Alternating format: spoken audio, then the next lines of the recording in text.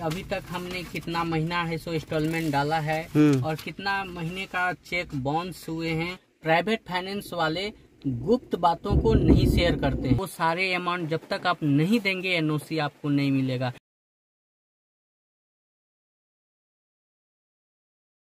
Good morning दोस्तों अभी सुबह के 10 बजा है और आज काम पे नहीं जा रहे हैं और छुट्टी ले रखे हैं।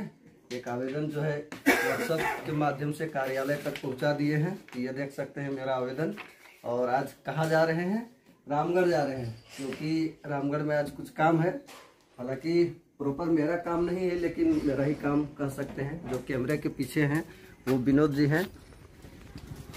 देखिए गाँव में इन्वर्टर नहीं मिलता है। लेने के लिए तीस किलोमीटर जाना पड़ता है। इतना बड़ा गाड़ी लेके इतना बड़ा गाड़ी लेके जा रहे हैं इन्वर्टर लेने।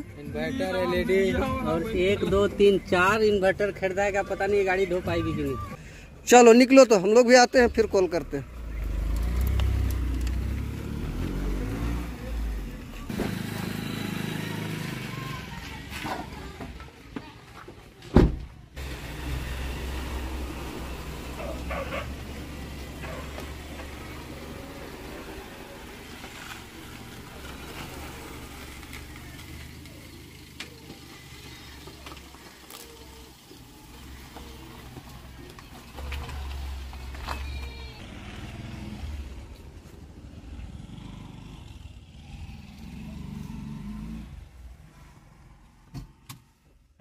महिंद्रा बोलेरो पिकअप है जो डल्ला गाड़ी होती है हाँ, जिसमें हम कोई सामान लोड करके इधर उधर ट्रांसपोर्ट कमर्शियल यूज़ हाँ, के लिए कमर्शियल यूज़ के लिए। हम्म। तो वो गाड़ी है सो 2020 में हम खरीदे हैं और जो फ़र्स्ट ओनर है वो 2019 में खरीदा था। उसका किस्त तो चल ही रहा था। हम्म। तो हमने उसके साथ सेटलमेंट कर लिया उस ओनर के साथ में कि बाकी का जितना भी किस्त है एक साल यानी बारह महीना तेरह महीना एक्चुअली मुझ दे चुका था। हम्म। तेरह महीना दे चुके हैं। जो बाद का जो- होगा वो मैं दूँगा। ईएमआई है वो मैं दूँगा और बदले में हमसे वो एक लाख रुपया गाड़ी को जो डाउन पेमेंट किया होगा उसके चलते हमको देना पड़ा। देना पड़ा था। हम्म। एक लाख रुपया दिए थे और बाकी का किस्त हम स्वीकार कर लिए थे कि हम देंगे।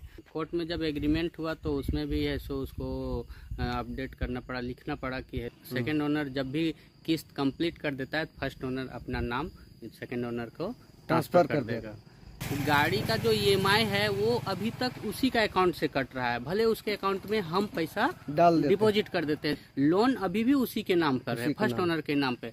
तो रिश्ता काफ़ी अच्छा होने के बावजूद भी इतना दिन दो साल चला। हम्म। अब जो फ़र्स्ट ओनर हमको रिक्वेस्ट किए कि सेकेंड ओनर जी आप आइए और है सो लोन अपने नाम पर कर लीजिए इसलिए आज जा रहे हैं। जो लोन प्रोवाइडर कंपनी है वो बात हुई है वो बोले हैं कि लोन आपके नाम पर ट्रांसफ़र हो जाएगा। पीछे देख सकते हैं कि ये एक पठार है। हम लोग गाँव में इसको टुंगरी बोलते हैं और इसका पुराना नाम जो है मकोनी टुंगरी हुआ करता था लेकिन आज की डेट में इसका नाम बदल गया है। अब ये डकैती टुंगरी हो गया है मतलब डकैती मोड़ हो गया है। यहाँ पर एक मोड़ है। तो इसको डकैती मोड़ लोग बोलते हैं। इसकी वजह है कि काफ़ी सालों पहले जब गाँव में किसी तरह का कोई सुविधाएँ उपलब्ध नहीं थी। लोग राशन पानी के लिए शहरों तक जाते थे। वीक में एक दिन ही खरीदारी करते थे।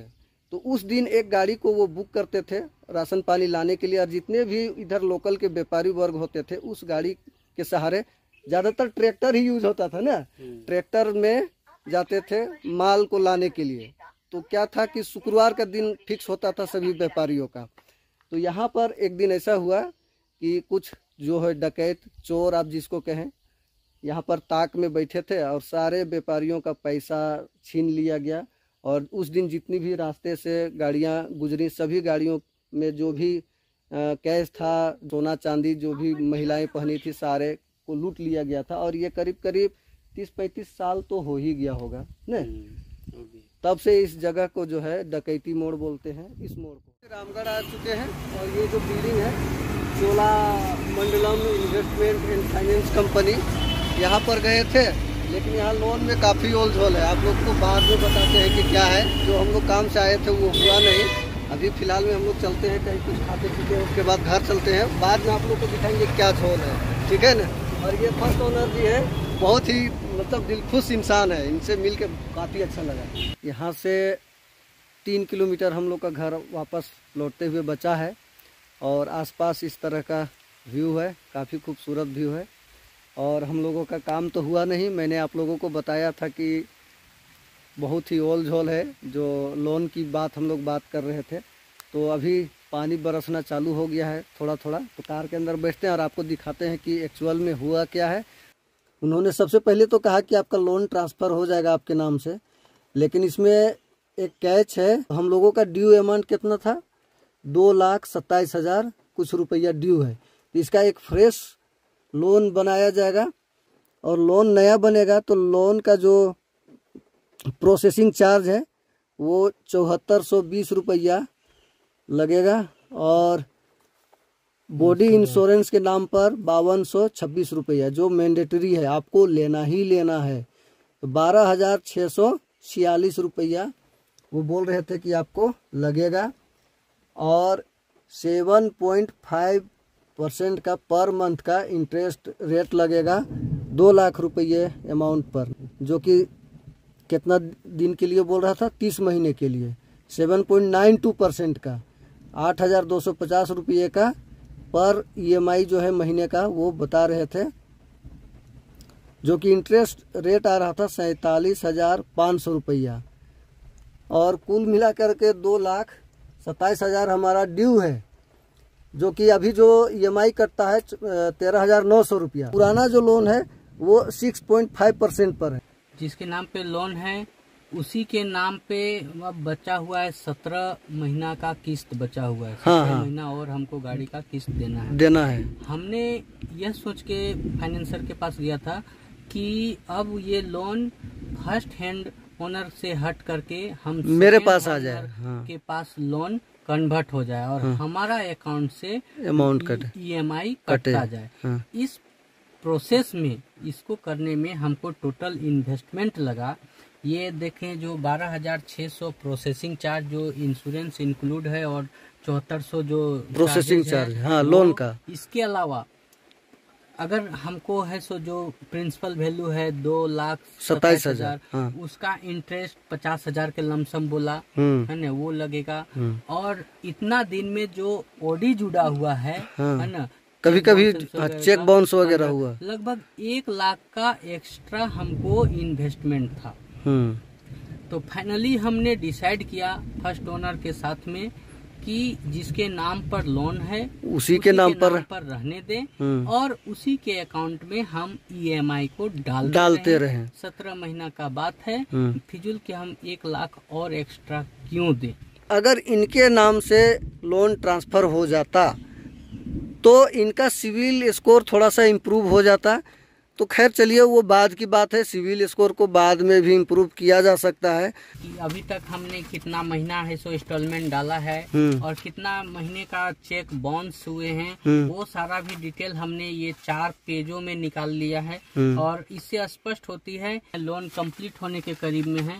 तो कृपया आपसे भी रिक्वेस्ट है कि लोन को ट्रांसफ़र न करें नहीं तो आप ही को नुकसान है जो फ़र्स्ट ओनर और आपके बीच में रिश्ता किस तरह से अगर भरोसा है तो फिर कोई दिक्कत नहीं है। तो हम लोगों ने फ़र्स्ट ओनर से बात किया बोला कि मुझे कोई दिक्कत नहीं है। सेकेंड ओनर ओनर के नाम पे लोन बनाना चाहते हैं और एक हम्म। लाख देना चाहते हैं। वो एक लाख क्यों ना फ़र्स्ट ओनर के ही अकाउंट में डाल करके ये प्रिंसिपल वैल्यू को कम कर दें और है सो जहाँ जो ईएमआई है उस कम महीने की हो जाए बन कम महीने- हाँ। तुरंत आपका है सो लोन खत्म हो हो जाएगा। अभी भी लोन आप ये जो प्राइवेट फिनांस वाले हैं उनके चक्कर में नहीं पड़ना है। सबसे बेस्ट ऑप्शन है आप किसी सरकारी या हाँ, गवर्नमेंट एफिलियट एफिलिएट बैंक को पकड़िए। प्राइवेट फाइनेंस वाले गुप्त बातों को नहीं शेयर करते हैं नहीं करते हैं। गुप्त बात जैसे हिडन चार्जेस जो होते हैं हाँ। जैसे चेक बाउंस करना डायरेक्ट हैंड टू हैंड पैसा सो ऑफ़िस में जाके जमा जमा करना। करना हाँ। ये सबसे क्या फ़ायदे हैं क्या घाटे हैं ये चीज़ वो नहीं बताते हैं चाहे फाइनेंस का स्टाफ हो चाहे फाइनेंस का फाइनेंसर का मैनेजर हो कोई नहीं बताते हैं लेकिन आज हम आप लोग को हिदायत देते हैं अगर आप है सो डायरेक्ट ईएमआई को बाय हैंड जमा करते हैं तो वो गलती ना करें। क्योंकि जो अकाउंट उसमें डाला हुआ है उस लोन पर कि किस अकाउंट से पैसा ईएमआई कटना है। ईएमआई कटना है।